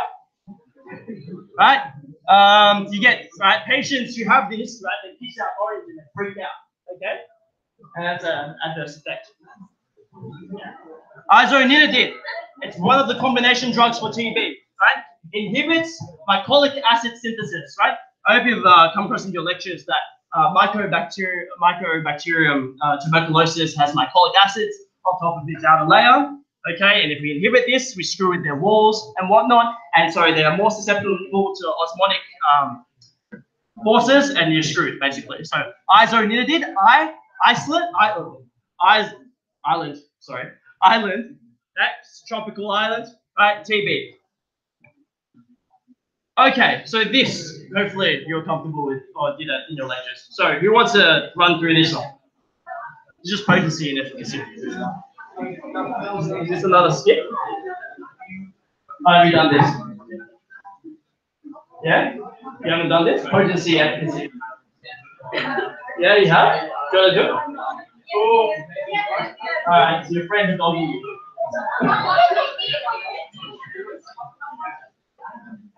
So what do you think, guys? So one, which drug is the most potent? What's potency again? Concentration, right? At which the drug is able to produce half of its response, its full response. The lower the concentration, right? Good. Oh no, the lower the concentration, the stronger that drug is. So it's not A, but B. Yeah, awesome. You want, do you want to chop? Or? Oh. Cool. What's what's two? Which drug is least potent? D. Awesome. Right? And you want to try? I don't know who said that, so I don't know who get chop. Oh, you? Alright. Sorry. Alright, so what about three? B. Awesome. And and what's four? B. Efficacy is a horizontal. Wait, no, vertical. Yeah? It's a response, essentially. So it's half, it's a it's a partial agonist essentially. Right? It means it has half the efficacy. Does that make sense? Yeah? Cool, I'm moving on. Awesome. Cheers. Alright, metronidazole. Okay? Metronidazole interferes with DNA only once it's activated by anaerobic bacteria. Guys, can we write down? Right. Only once it's activated by anaerobic bacteria. That means that the indication, of course, is that you need anaerobic bacteria usually there. Right? Common point of question is alcohol interaction. Right? People get prescribed this for some kind of infection and they go have a drink and they feel uncomfortable. They get a metallic taste in their mouth. They feel nauseous. Right? They get a bit of a dry mouth. Metronidazole in the memory box says Metro train tracks. I want you think of train tracks, unwound train tracks, right? It's basically screwed up DNA. Because DNA is unbound. it looks like two straight lines. Metal tracks, right? Metallic taste. You can't drink on the trains, so it's alcohol interaction, and trains don't breathe, so it's anaerobic. Or azole sounds like asshole, right? A-hole, and you don't breathe out of your asshole. Yeah? Cool? Comfortable? Okay. Antivirals. Aciclovir. Aciclovir is a guanine analog. What the guanine analog is, is it pretends to be guanine, essentially gets incorporated into DNA during viral replication and gets stuck. And it jams the elongation so they can't replicate. Okay? Aciclovir is for the herpes simplex family. Okay? Cool? Uh, memory box, uh, Aciclovir, clover, green, guanine. Starts with G, I think. Amantadine, right? So, let's talk about influenza and how it works. Influenza gets into your cell, okay? It has channels called M2 ion channels. These ion channels allow for H plus to enter the virus. Once H plus enters the virus, it triggers uncoating, right? And then that DNA can integrate with the host genome. If we stop the N2 receptors, I'm sorry, channels, we stop H plus coming in and uncoating. Amantadine blocks the M2 ion channels. Okay? Use this for your influenza virus A and B. Uh, memory box. Amanda, Amantadine. Amanda is cold, so she does not want to take off her coat. Right? Uncoating, inhibiting uncoating. Right? You shake when you're cold. You have a tremor, Parkinson's. Yeah, you have tremors. So it's also used to treat Parkinson's, Amantadine. Okay? Or Amanda has Parkinson's. So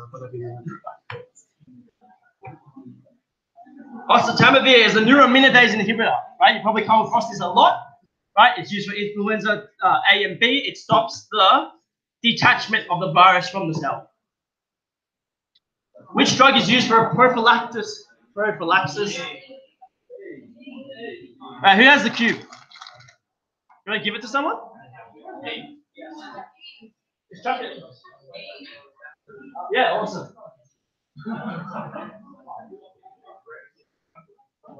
Okay, awesome.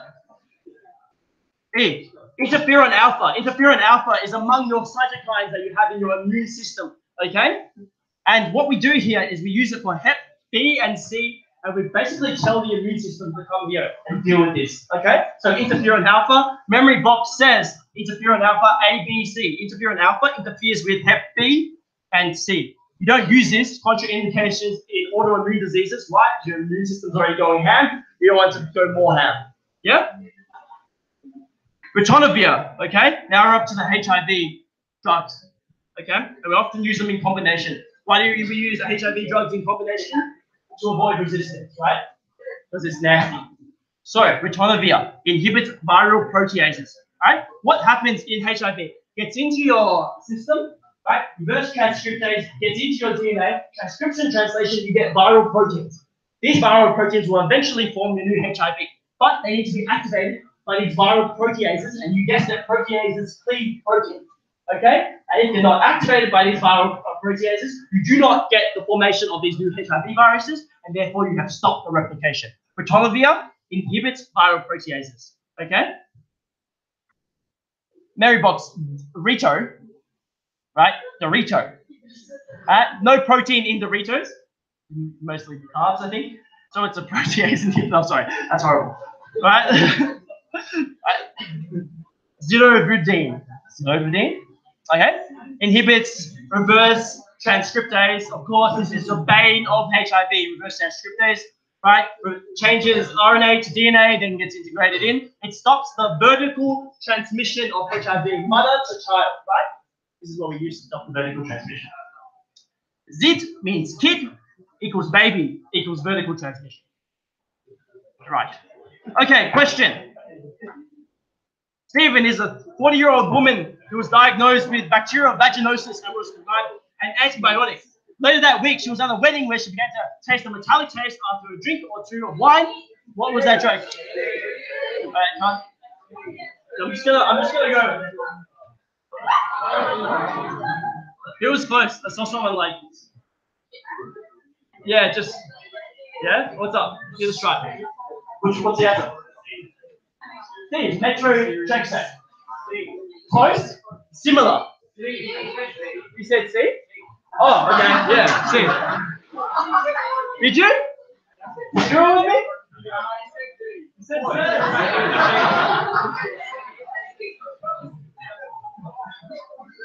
Right. Okay. Right. What what is the order? I think that's the next question. Yeah, what's the mechanism of this drug?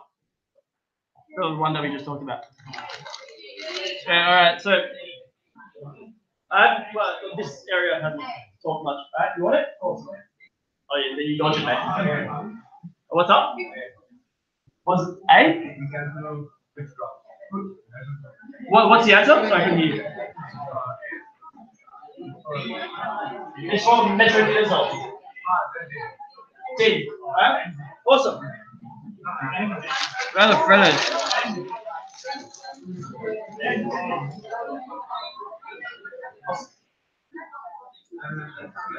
Okay. Antifungals, okay? Fluconazole, right? Can you all hear me? I can't tell it. Do you want me to turn it down a little?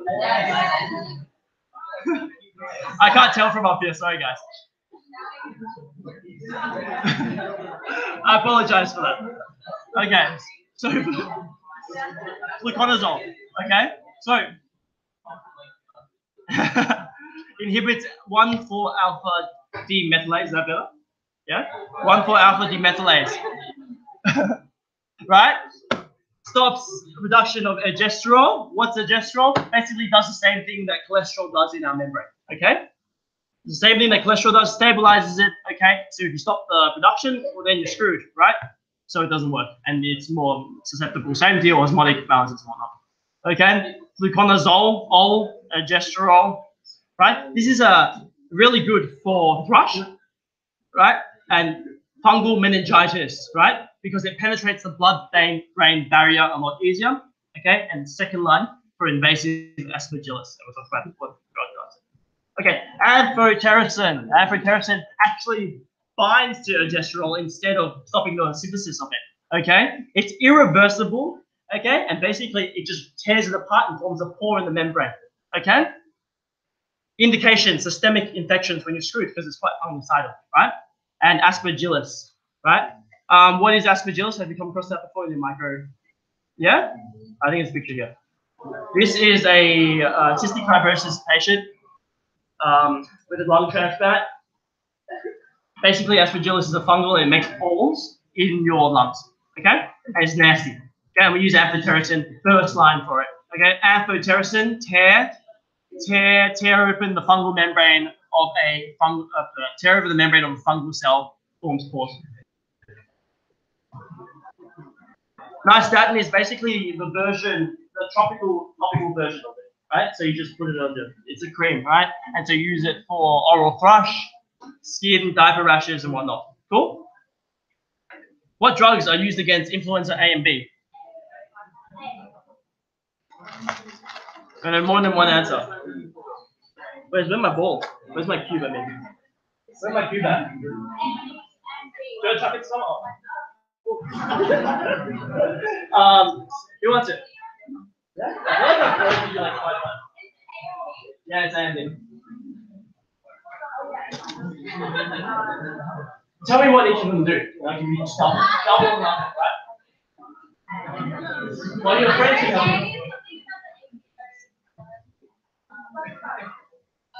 Yeah, yeah. What about? Can you match something up? Amanda, yeah, what about Amanda?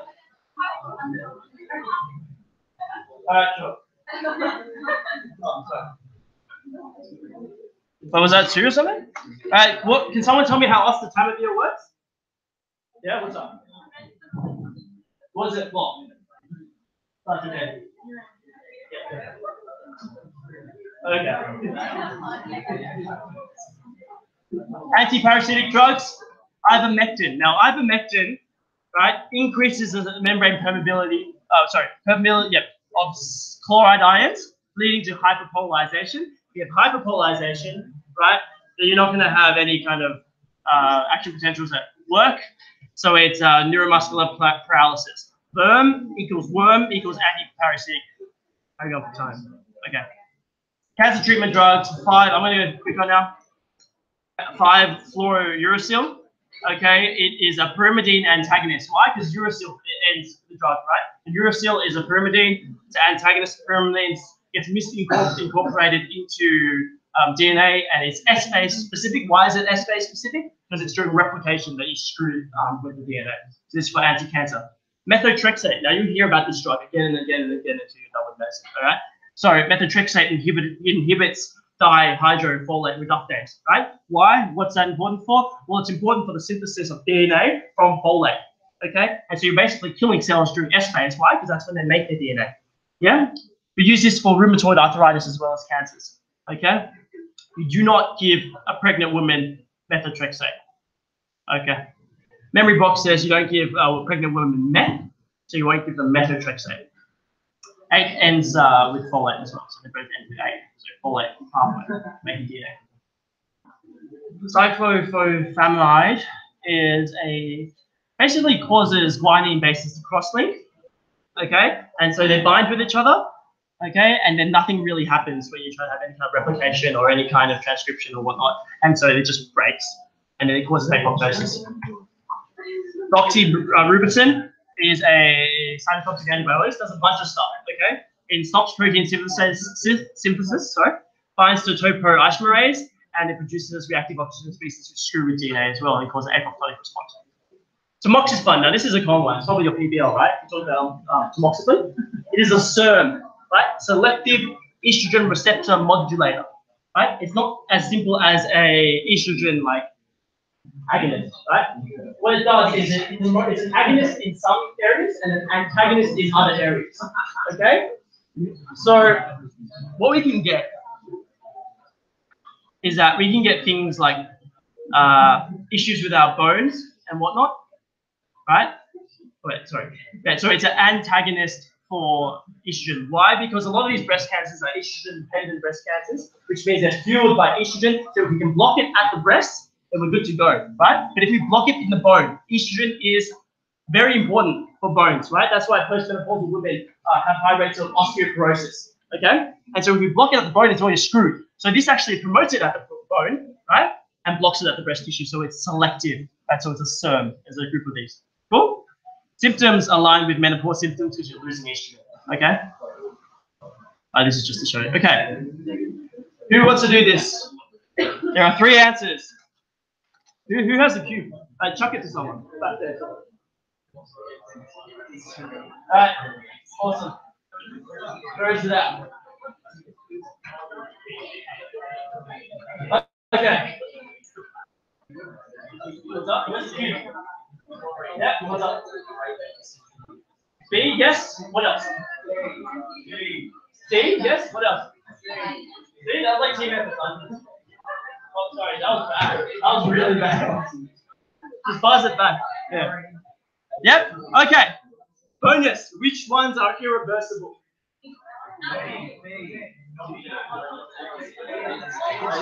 Someone put their hand on. Yeah. What's up? Which one's irreversible?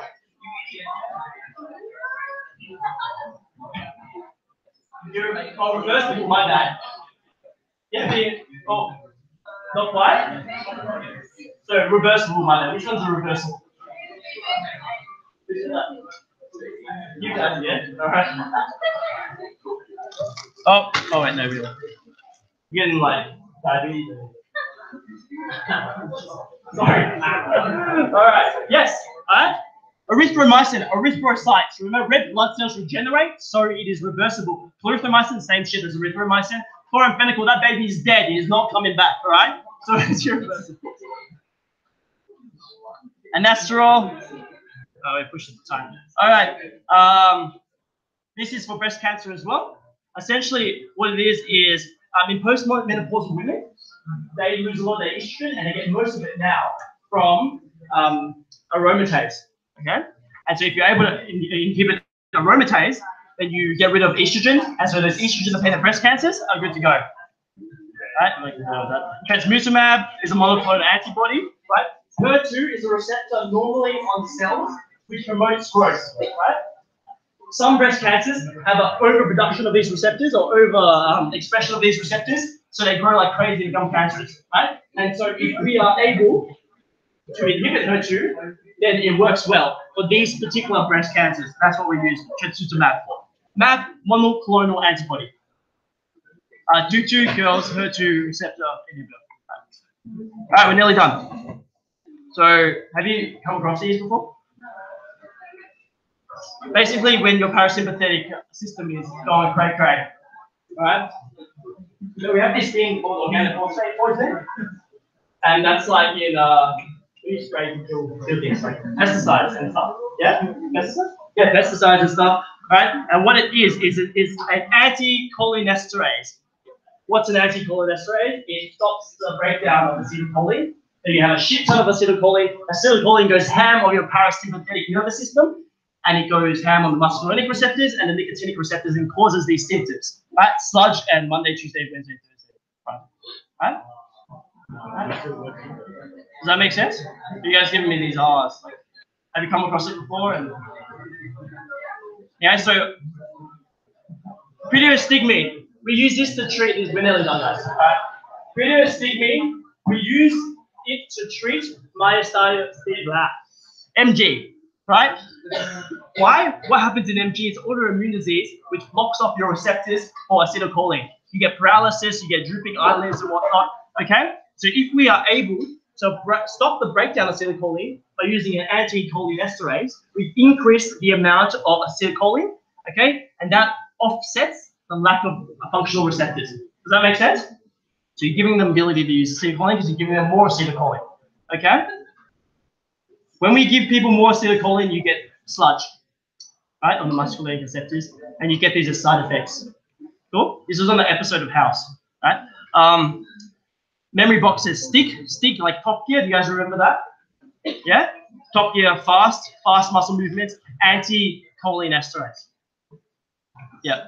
Atropine. Now, atropine is a muscarinic receptor antagonist. It's reversible. Okay.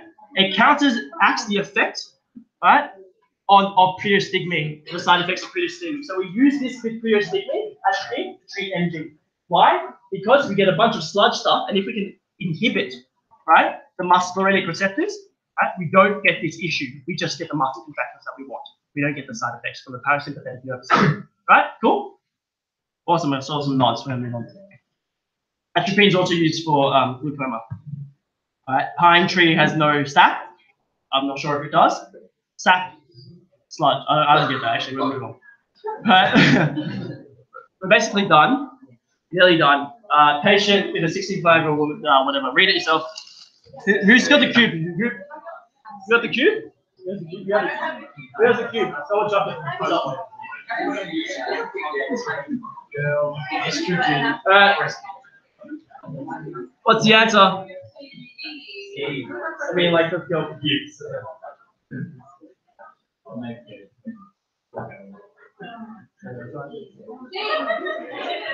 So this this this lady has estrogen-dependent breast cancer. Estrogen-dependent, but she's old though. She's postmenopause. That's the idea.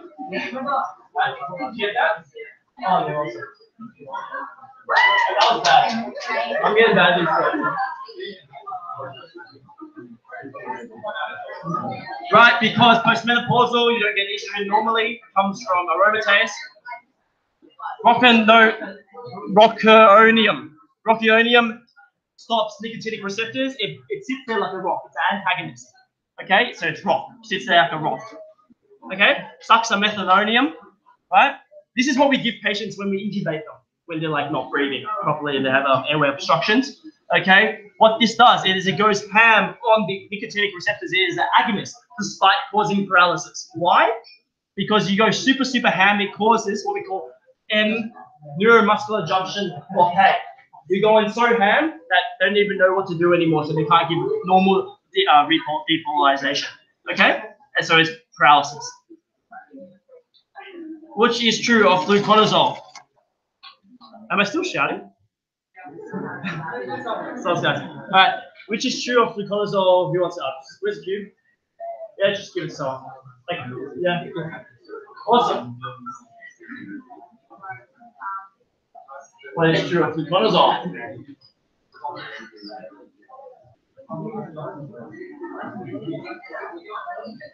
More than one answer. How we go? Sorry, right here. Yeah, we like third last slide. Not what? Right, T, awesome. What's another answer?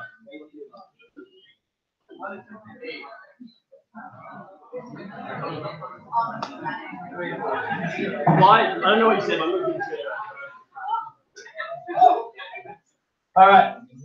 Fungal meningitis like crosses the blood-brain barrier. All right. Second line. What's first line? Yep. Awesome. All right. And D inhibits one alpha demethylase, important for progesterone. Which this is the last question of the day. Right. I know it's been a long day for you guys. So, which one will overcome this effect? What's rocuronium? What does rocuronium do? Rocuronium. Sits there like a rock. I love it. All right. Awesome. Just, yeah. You know what? End of the day, some left over. All right. So if it sits there like a rock, it's irreversible rock though. Which of the following? Okay. What kind of receptors does it sit in? Nicotinic. Lovely. Okay. So what are we going to do? There are there are there are a lot of answers actually. Which of the which of the following? Sorry. Uh, so let's just list off the answers. What do we have? Who wants to do it? Does anyone want chocolate? Yeah? I can't, I don't know where it's going. You take it? There are three, there are three answers if you give me chocolate. One of them's right. B B and C. B and did you say? B E. Yeah. All right. What's the last one? It's B. Right, you said B? What about A? Okay, I love it. You said that. You? Okay, A and nearest mean and nearest mean are like the same shit. Okay, just like little cousin. Okay? So they do why? Anti-cola esterase means there's more acetylcholine. More acetylcholine is going to fight for that receptor, fight against this drug because it's reversible. Okay? And then you're going to be good to go. Cool. And we are done. Sorry about the shouting, guys.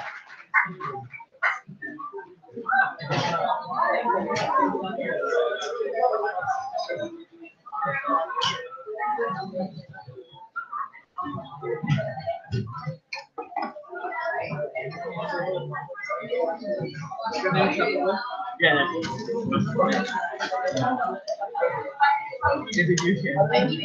really? I couldn't tell.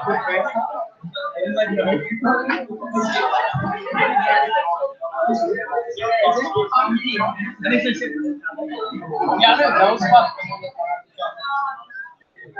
Oh, maybe they just keep them What's up? I have a question. Can you bring up the pamphlet again? Oh, okay.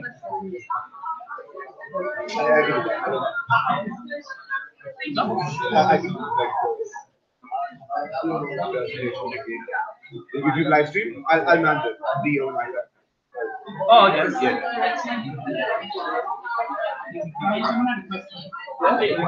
Do